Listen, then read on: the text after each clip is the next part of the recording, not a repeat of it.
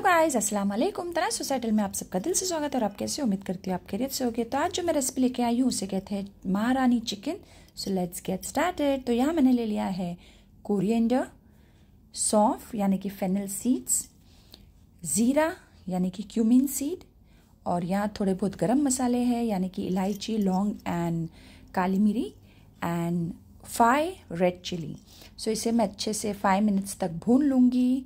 And then grind कर लूँगी।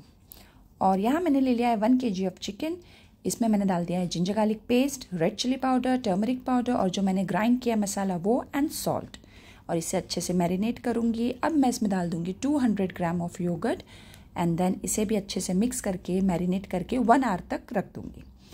अब मैं ले लूँगी कैशू नट फिफ्टीन जो मैंने भिगो के रखे हैं and four medium size onion इसे भी मैं ग्राइंड करूँगी विदाउट वाटर या मैंने ले लिया ऑयल इन अ पैन और मैं तेज़ पत्ता और दालचीनी डाल के इसमें जो काजू और ओनियन का पेस्ट है उसे मैं अच्छे से भून लूँगी एंड देन इसमें मैं मैरिनेटेड चिकन डाल दूँगी. It's so simple and easy इसे मैं ढक के टेन मिनट्स तक पकाऊँगी टेन टू फिफ्टीन मिनट्स तक एंड देन जब मैं ओपन करती हूँ तो इसका तेल अच्छे से छूट गया है और चिकन भी ऑलमोस्ट पक गई है तो अभी मैं इसे ओपन पैन में पकाऊँगी। एंड देन अगर इसमें आपको वाटर डालना है तो वाटर भी डाल सकते हो।